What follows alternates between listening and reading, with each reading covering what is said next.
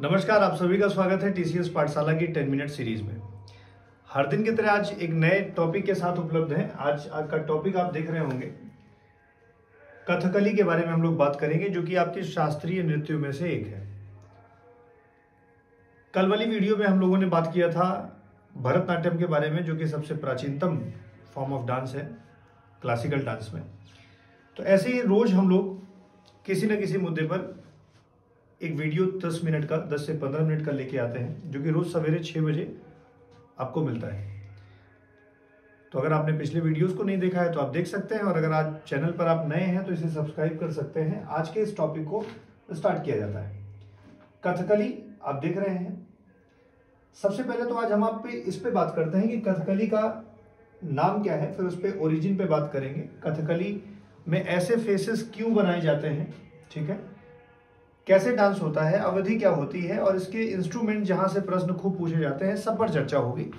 ठीक है? तो कथकली जो है, विशेष तौर पे कथा और कली से मिलके बना है। कथा और कली से आप समझ पा रहे होंगे कि पहले जो है, जैसे स्टोरीज थी तो इस स्टोरीज को लोग क्या करते थे? अपने अनुसार बताते थे। और जब उसी स्टोरीज को कली का मतलब डांस के माध्यम से बताया जाने लगा तो हम इसे ही क्या कहा कहें, कथकली कहते हैं। तो कथकली जो है वो दो चीज़ों से मिलकर बना है, कथा और कली। कथा का मतलब हो गया ड्रामा कोई भी कहानी स्टोरी और कली का मतलब यहाँ पे किससे है? वो है डांस से। ठीक है? तो डांस के माध्यम से जो स्टोरी बताई जाती है, वो कथकली कहलाती है। विशेष तौर पर शुरुआत जब इसकी होती है तो जो कृष्ण भगवान की कथाएँ हैं या राम जी की जो कथाएँ हैं, उनके बारे में ये डांस दिखाता है डिपिक्ट करता है। ठीक है? और इसके डिटेल में बात करेंगे, आइए। अगर हम लोग बात करें कि कथकली का ओरिजिन कहाँ हुआ या कैसे हुआ तो इसकी ओरिजिन ट्रेस बैक करते हुए हम लोग लेके चल सकते हैं कहाँ तक? सेवनटीन सेंचुरी में। किस स्टेट से ओरिजिन है तो आप केरला याद रखिएगा, ठीक है?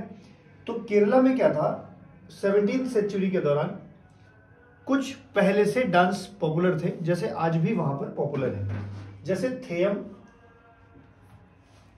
कल्लारी पयटू कृष्ण अट्टम राम नट्टम ठीक है? ये सब वहाँ के डांस है। जैसे ये कलारी पयट्टू को तो केरला का ताइकोंडो भी कहा जाता है। तो ये सब डांस वहाँ पे पहले से प्रचलित थे। इन्हीं से प्रेरित होकर के इस वाले डांस फॉर्म का ओरिजिन हुआ है। कहा जाता है कि ये जो डांस फॉर्म है, उस समय जो किंग थे, ठीक है, जिनका नाम राजा जमोरीन है उनके अनुसार जो कृष्ण जी की, कृष्ण जी के भाव और कथाएँ, कहानियाँ थी उन्हीं को डिपिक्ट करने के लिए जो है, वो कथकली नाम के डांस का ओरिजिन हुआ, ऐसा माना जाता है। तो जो हम लोग कथकली नाम के डांस की बात करते हैं, कुछ ऐसी भी मान्यता है कि जो केरल में सामंत वर्ग थे, उनके संरक्षण में जो दो डांस हुआ करता था, जिसे हम लोग राम नट्टम या कृष्ण अट्टम कह रहे हैं, ठीक है ना? ये दो पहले चला करते थे। और उसके बाद जो है धीरे धीरे यही दोनों बेसिस बनते हैं कथकली के, क्योंकि बेसिकली ये दोनों जो थे, वो रामायण और महाभारत की कहानी को डेपिक्ट करते थे और इन्हीं से जो है धीरे धीरे कथकली का ओरिजिन होता है। कहा जाता है कि धीरे धीरे जब सामंती प्रथा मतलब सामंतवादी प्रथा का समाप्ति हो गई तो ये जो डांस थे, इनमें भी बड़ा मतलब स्लो डाउन हो गया और लोग इसको परफॉर्म नहीं करते थे। और तब जाकर के एक व्यक्ति आपके सामने आते हैं जिनका नाम है वी एन मेनन। तो वी एन मेनन नाम के एक व्यक्ति हैं जिन्होंने इसके पुनरुद्धार में बड़ी भूमिका निभाई है। मतलब कथकली को रीपॉपुलर पॉपुलर करवाने में इन्होंने काफ़ी मदद की है। उस समय के जो किंग हुआ करते थे, जिनका नाम था किंग मुकुंद मुकुंद नाम के राजा की मदद से वी एन मेनन नाम के व्यक्ति ने कथकली को री मतलब इमर्ज करने में काफ़ी मदद की थी। तो आपने देखा कि इसका जो ओरिजिन था, वो अभी का नहीं है। पिछले कुछ बेसिस बेसिक डांस थे, उन डांस से माना जाता है। कुछ लोग ऐसा मानते हैं कि प्रमुखता जो है कृष्णट्टम और रामनट्टम जो है, उनसे इनका ओरिजिन को ट्रेस किया जा सकता है।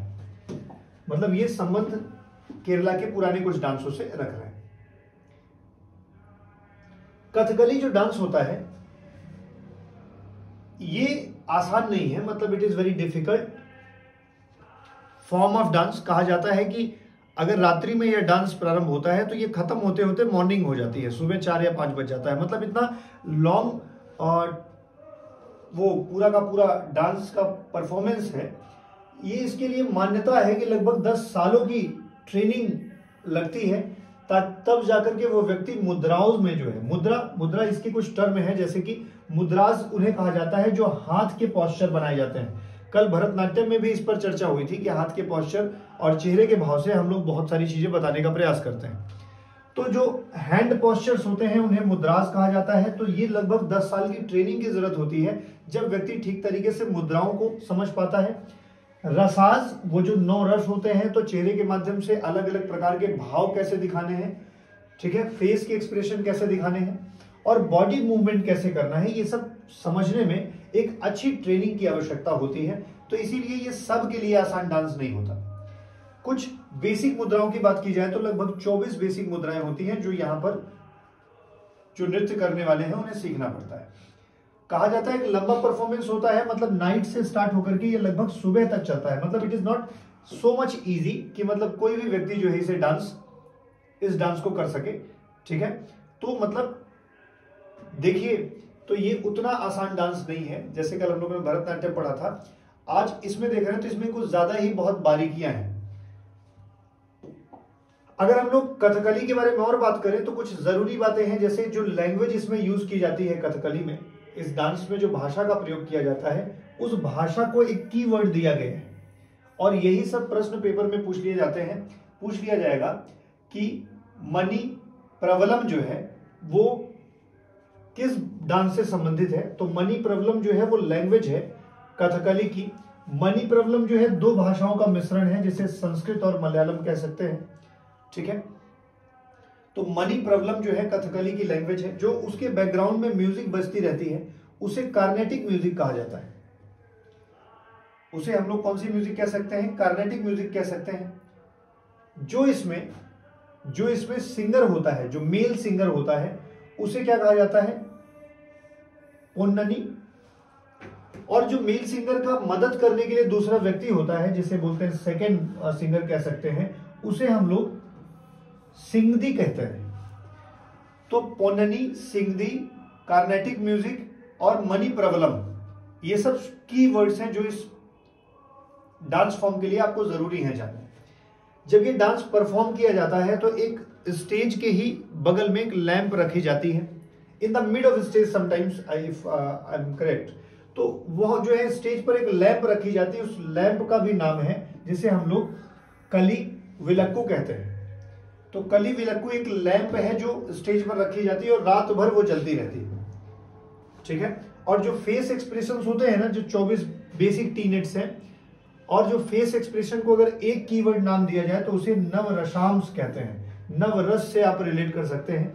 तो ये सब कुछ कीवर्ड्स हैं जिन्हें आपको ध्यान रखना पड़ेगा। मनी प्रबलम, कार्नेटिक म्यूज़िक चलती है, पोननी याद रखेंगे, सिगदी याद रखेंगे, कली विलकू याद रखेंगे और साथ में नव रसांश याद रखेंगे। कथकली से रिलेटेड वर्ड्स हैं। कथकली जब परफॉर्म होती है तो उसमें कुछ कंपोनेंट्स होते हैं जो ज़रूरी होते हैं। जैसे ये कहा जाता है कि इसमें नृत्य के जो है, एक तो नाट्यम होता है। नाट्यम का मतलब एक्टिंग होती है। नृत्यम होता है। देखो, ध्यान रखिएगा, नृत्यम और नृत्यम दोनों अलग अलग वर्ड है, और ये पूछा जाता है, बहुत इंपॉर्टेंट ये कहा जाए तो सबसे इंपॉर्टेंट पार्ट है यहाँ से प्रश्न बनने का। तो कौन कौन से कंपोनेंट्स हैं जो उसमें लिए जाते हैं? तो भाई एक नाट्यम है, एक नृत्यम है, और एक नृत्यम है। नृत्यम इज़ डांस और नृत्यम इज़ हाथ का मुद्राएँ हैंड जेस्टर्स और लास्ट में संगीतम तो संगीतम आप सॉन्ग जानते ही हैं कार्नेटिक म्यूज़िक आपको आता ही है। ये देखिए, यहाँ पर कुछ फेस एक्सप्रेशन आपको दिख रहे होंगे। एक कलरफुल व्यक्ति है, ठीक है, और वो अलग अलग ठीक है, रस को दिखा रहा है। जैसे ये श्रृंगार रस को दिखा रहे हैं, ये हास्य रस को दिखा रहे हैं, ये शांत रस को दिखा रहे हैं, ये अद्भुत रस को दिखा रहे हैं, ये भयंकर रस को दिखा रहे हैं, ठीक है? ऐसे ही ये अलग नौ जो रस होते हैं, कोई करुण रस को दिखा रहा है तो इस तरीके से डेपिक्ट किया जाता है इस पूरे डांस में। अगर हम लोग कथकली को थोड़ा सा और समझना चाहें तो कथकली में जो इंस्ट्रूमेंट प्रयोग किया जाता है बजाने के लिए, उन इंस्ट्रूमेंट से भी खूब सारे प्रश्न आते हैं। ये जो, ये पहला वाला जो पार्ट है, इसी को हम लोग बोलते हैं छंदा। आप इसे ढोल की तरह समझ पा रहे होंगे, लेकिन इसका जो वर्ड है जो यूज़ किया जाता है दिस इज़ नोन एज छंदा। ये जो मडला है, ये इसे बोलते हैं। छिंदा, जैसे आजकल तासे वाले आते हैं ना, वो पंजाबी ढोल लेकर के तो वैसा है, लेकिन वहाँ का स्ट्रक्चर ऐसा है। इसे हम लोग बोलते हैं मडला। और इसे जो है इलाथलम जिसे आप नॉर्मली मजीरे के रूप में अपने यहाँ यूज़ करते हैं मतलब रामायण वामायण जब होती है तो आप इसे यूज़ करते हैं। उसी को इलाथलम कहते हैं। ये तीनों इंस्ट्रूमेंट हैं जो प्रयोग होते हैं कथकली में। तो ये तीनों इंस्ट्रूमेंट ज़रूरी हैं। प्रश्न पूछ लिया जाता है कि इनमें से, निम्नलिखित में से कौन सा इंस्ट्रूमेंट जो है, वो कथकली में प्रयोग नहीं होता ये जो कथकली है ना, ये पुरुषों के द्वारा परफॉर्म किया जाता है। पुरुष परफॉर्म करते हैं समूह में। ठीक है? एक लंबा डांस है तो निश्चित तौर पर एकल तो नहीं होगा। इसमें रंगमंच की सामग्री बहुत कम होती है। मतलब से उसको सजाया वजाया नहीं जाता है। कई बार तो ऐसा होता है कि खुले पेड़ के पीछे जो हरियाली होती है, उसी को मंच का बैकग्राउंड बना दिया जाता है और कई बार चादर वादर से ढक करके उसके बैकग्राउंड को बना दिया जाता है। बहुत इसमें साजो सज्जा की आवश्यकता नहीं होती। तो कथकली डांस जो है, जिसको मेल परफॉर्म करते हैं। ठीक है? इसमें आप देख रहे हैं कि अगर थोड़ा सा आप इस वाली इमेज को देखें, अगर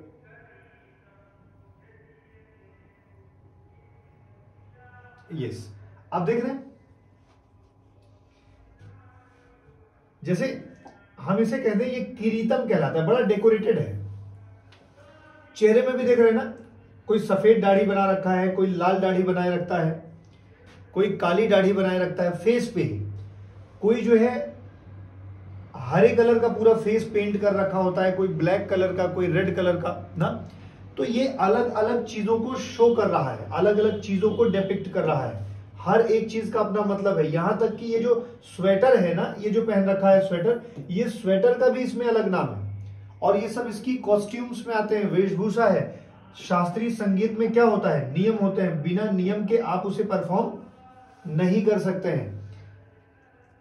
तो अगर हम लोग इंस्ट्रूमेंट्स के बाद थोड़ा सा और बात करें तो जो कथकली में लोग अलग अलग प्रकार का फेस मेकअप करते हैं तो कथकली के मेकअप को कहा जाता है चुट्टी। अब इसे पुट्टी से रिलेट कर सकते हैं मतलब you are making it over ना? मतलब याद करने के लिए, आप जैसे पुट, पुट्टी, वैसे चुट्टी का मतलब you are going to decorated makeup जो होता है इसमें व्यक्तियों का, उसे हम लोग चुट्टी कहते हैं। जैसे जो ब्लैक कलर का प्रयोग होता है मेकअप में, वो किसी डेमन को दिखा रहा होता है। ध्यान रखिएगा, ये जो कथकली है ना, ये गुड वर्सेस बैड के बीच में संघर्ष को शो करता है। अच्छे और खराब के बीच में संघर्ष को शो करता है। ये पूरी कहानी जो है, रामायण महाभारत के माध्यम से ये क्या करता है, गुड वर्सेस बैड को इंगित करता है। अच्छाई और बुराई के बीच में शाश्वत संघर्ष को ये जो है इंगित करता है, इस बात को ज़रूर ध्यान रखिएगा। तो जो ब्लैक कलर है, वो डेमन को दिखाता है, ठीक है? हम लोग उस पात्र को कारी भी कह सकते हैं, ठीक है? जो ब्लैक मेकअप करता है, उस मेकअप का एक नाम है, कारी। ऐसे ही जो रेड मेकअप करता है, उसे बुराई का प्रतीक दिखाया जाता है। जो ग्रीन मेकअप करता है, उसे अच्छा या नोबल माना जाता है। और जो ग्रीन कलर का मेकअप करता है ना, उसे एक नाम दिया गया है। पाचा। तो Pacha Kari. Kari is for the black and green जिसके लिए होता है, उसे हम लोग क्या बोलते हैं? पाचा। पाचा ये क्या है? मेकअप है। उसका नाम है। कभी कभी देखते हैं ना, वो दाढ़ी रखे रहते हैं ब्लैक व्हाइट रेड तो उस दाढ़ी को जो है, थट्टी कहा जाता है।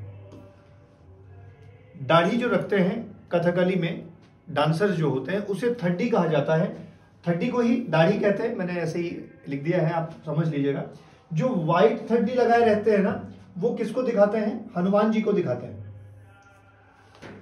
व्हाइट थड्डी रखने वाले हनुमान जी को शो करते हैं, ठीक है ना? और उसके लिए व्हाइट थड्डी का एक नाम है, जिसका नाम है एला थड्डी एला थड्डी मतलब हनुमान जी को डिपेक्ट करने के लिए व्हाइट दाढ़ी जो रखा जाता है, उसे एला थड्डी कहते हैं। लाल दाढ़ी जो रखते हैं, ठीक है ना? वो बुराई को दिखाते हैं। और उसके लिए भी एक नाम है, चुवन्ना थड्डी। एला थड्डी, चुवन्ना थड्डी, ठीक है ना? और ऐसे ही जो ब्लैक दाढ़ी रखते हैं ठड्डी रखते हैं, ठीक है? वो शिकारियों को दर्शाता है। शिकारी जो है, ब्लैक दाढ़ी रखते हैं और उसे हम लोग कह रहे हैं करुत्था थड्डी। तो करुत्था थड्डी, चुवन्ना थड्डी और एला थड्डी। एला थड्डी किसको? हनुमान जी को। और जो चुवन्ना थड्डी है, वो कहीं ना कहीं इविल को और जो करुत्था थड्डी है, वो शिकारी को दर्शाता है। ये वर्ड्स हैं, पूछ लिया जाता है कभी कभार ठीक है? एक बार में नहीं याद होता तो you will write and learn it one two three times तो याद हो जाएगा। आप लोग एक काम कर सकते हैं, आज तो हम शायद वो नहीं कर पाएँगे वीडियो नहीं चला पाएँगे। आप लोग जाकर के कथकली के एक नृत्य को दो तीन मिनट का होगा, देख लीजिएगा, ठीक है? काफ़ी बातें समझ में आएँगी। जो लेडी कैरेक्टर होता है, वो चाहे दासी हो, चाहे रानी हो, उनको कहा जाता है मिनुक्कू। मिनुक्कू किसका कैरेक्टर? जैसे कि आप याद करिए, हमने आपको उनन्नी बताया था।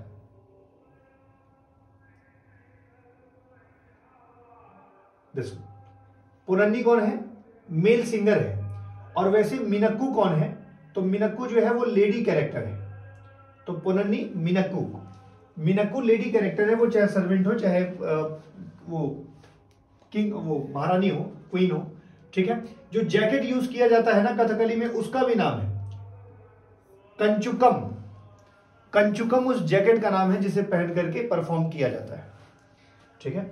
ये कुछ बेसिक फैक्ट्स हो गए जो शायद आपको एक जगह पर ढूँढने पर ना मिलते, ठीक है? और इससे ज़्यादा कुछ पूछा नहीं जाना है। ये आप देख रहे हैं, ऐसा अटायर होता है उनका, वेशभूषा होती है। ठीक है? ये अलग अलग एक्सप्रेशन आपके लिए बताए गए। हाँ सात्विक, राजशिका एंड तामसिक। सात्विक मतलब अच्छे और तामसिक मतलब खराब। राजसिका मतलब कि राजाओं को दर्शाने के लिए।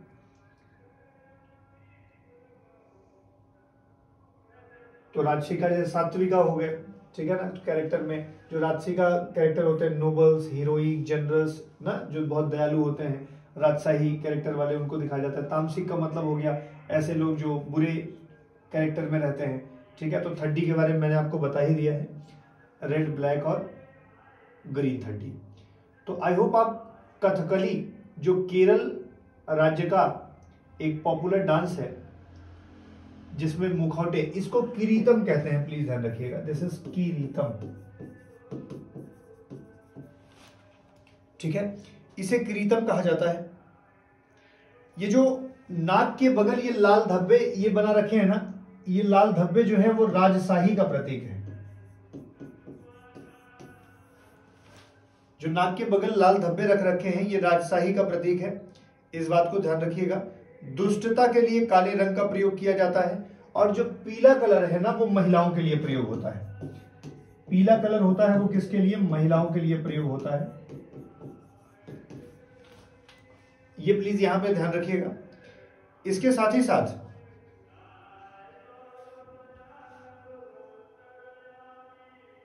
आँखों और भावों का प्रयोग यहाँ पे बहुत ज़रूरी होता है। आँखों और भाव। इनकी मुद्रा खूब ज़्यादा यहाँ पर देखी जाती है, क्योंकि ऑलरेडी इतना मसाज कर रखा है, अब मसाज मैं कह रहा हूँ सॉरी मेकअप कर रखा है। तो अब इससे बहुत ज़्यादा मूवमेंट तो नहीं, ये आँख और भाव के मूवमेंट को बहुत मायने रखा जाता है, ठीक है? और इसी के माध्यम से ये लोग बहुत सारे भाव को प्रकट करते हैं।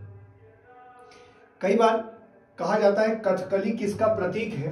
तो प्लीज़ कथकली किसका प्रतीक है? तो आप इसको इंग्लिश में एथर याद रखेंगे और हिंदी में आकाश याद रखेंगे।